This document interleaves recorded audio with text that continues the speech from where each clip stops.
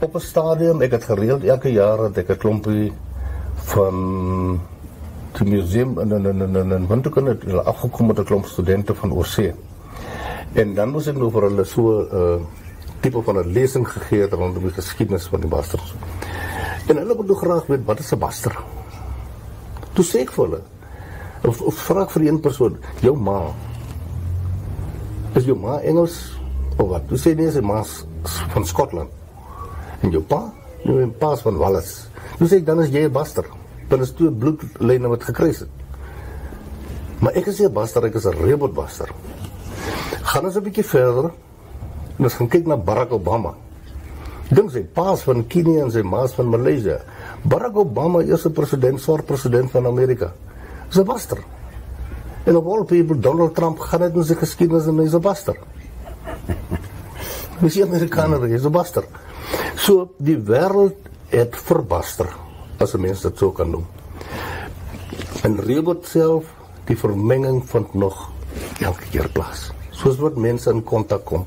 Rebot basters trou met Owambos, hulle trou met Herreros, hulle trou met Namas, hulle trou met enige groep. Want dit hier is nie meer 'n apartheidswet wat hulle verhoed om dit nie te doen nie. En so gaan die die vorming gaan net verder. Maar daar die die verskil is, jy's 'n baster, maar jy's nie 'n rebel baster nie.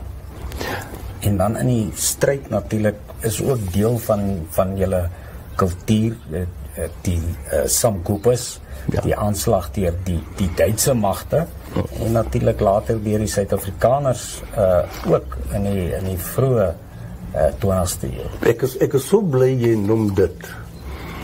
Ons sit heidaglik sit ons met ehm um, die aktuele saak in Namibië rondom genocide wat gedryf word deur die Herreros en deur die Namas. En ek het voor ek nog kaptein geword het en daarna het ek dit aangespreek tot en met by die president.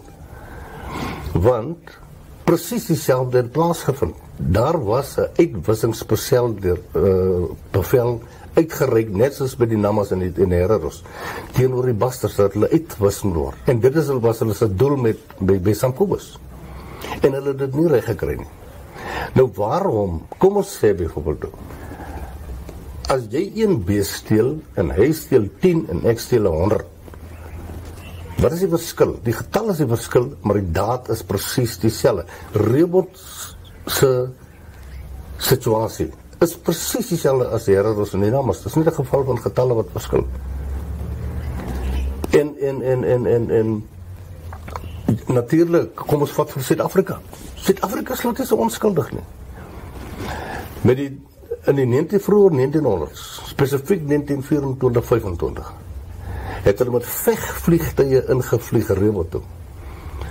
Reg oor Oswagen is 'n klipkraal as 'n monument wat daar gebou was vir daardie insident waar ons mense daar ingejaag en toegesluit het honderde toegesluit het. Goddank ons mense het nie uh terug probeer veg nie want toe hulle die, die eerste keer in hulle lewe wat hulle vegvlieg sien of 'n vliegtuig sien hulle mors dood geskrik maar terselfdertyd Suid-Afrika het klompie grond van die Reward Busters vervreemd.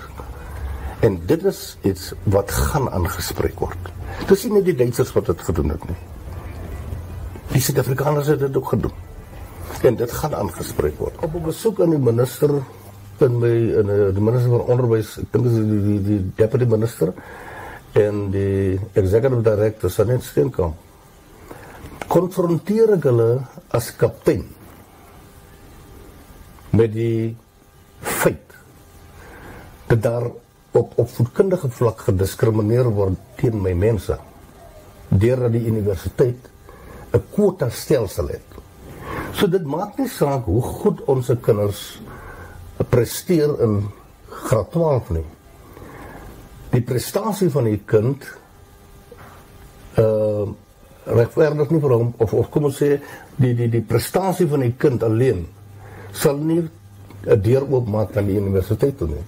Want daar's 'n kwota stelsel wat gebaseer is op etnisiteit alhoewel hulle die die die universiteit gesê het dit is op grond van die regions. Maar as jy na die regions kyk dan jy sien dis etnisiteit in die Hartab region oorwegend is, is Rebot Busters en en en Namas. Maar net 'n klein persentasie daarvan kan toegang kry tot die mediese afdeling of mediese fakulteit en so kan jy aangaan met die verskillende fakulteite en wat my aanbetref dit is mynsins diskriminasie op opvoedkundige gebied. Verlede jaar en dit het ek hulle ook mee gekonfronteer. Was dit 'n Rebot Buster meisiekind wat die toppresteerder in die land was en ek het vir hulle die dag gesê, ek vertrou sy te beurs gekry. Ek vertrou sy toegang gekry tot universiteit. En weet jy wat?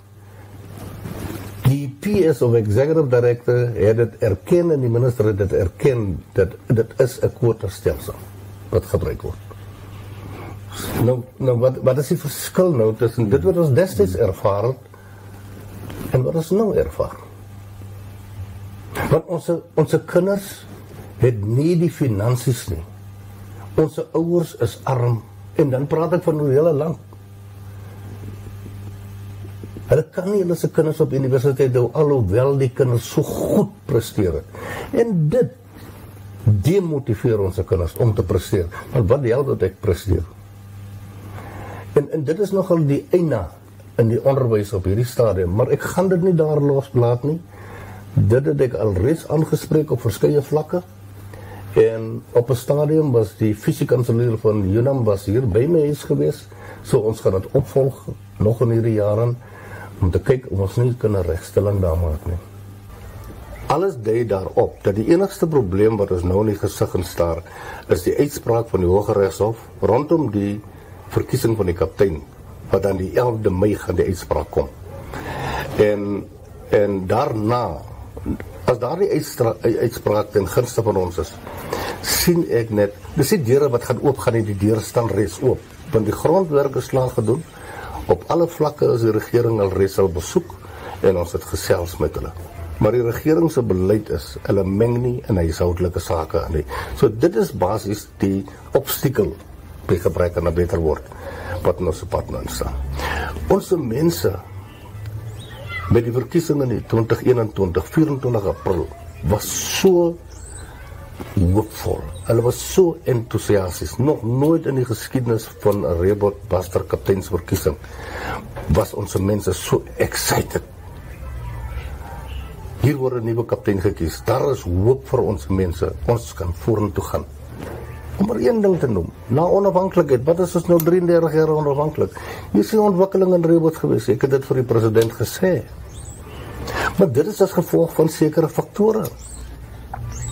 Maar dit is nie dis dinge wat kan geoorbrug word. Want ek glo daaraan dat jy moet kommunikeer dan sal julle mekaar verstaan. En dan sou ons iewers by 'n plek kan uitkom. En tot nou toe oral waar ek met die die regering gepraat het, was ons absoluut positief ontvang. Dit is waarom ek glo daar is 'n hoopvolle toekoms vir die Rebel Busters. Daar's net een probleem. Die tendens in ons land is dat onder die tradisionele groepe is 'n bekleierery onder mekaar. En ons sien dit die groter prentjie raak. He. So waarna ek soek is die welsyn van van my mense, maar om dit in die hande te kan kry en dit te bevorder, moet ons een word en uit een mond uit praat.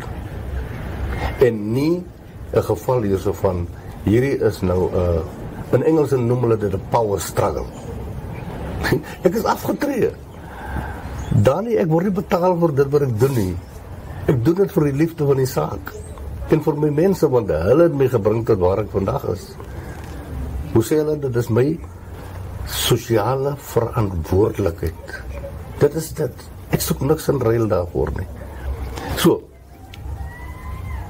Soos ek sê, as ons as ons kan saam praat, kragte saamsnoer, eenheid, dan sal ons iewers kom. Ons sit byvoorbeeld met die Herreros. Daar is ook 'n probleem rondom wie is hulle se leier. Onder die verskillende namme groepe presies dieselfde. Wie kry seer as twee olifante bekry kry die gras seer? Nou as hulle onder mekaar beklei vir leierskap, dan sê ek jou gemeenskap gaan daaronder ly. My mense het vir 33 jaar gelei. My mense kry swaar. Hulle het nie brood om op die tafel te sit, hulle het nie werk nie. Dis 'n ontwikkeling in Reword nie. Ons is vervuil deur alkoholmisbruik, deur verdowingsmiddels, drugs. Dis 'n nes hier in Reword. Die vraag wat ek vir die president gevra het is: wie het hierdie situasie laat ontstaan? Hoe created this? Ons mense het nie werk nie.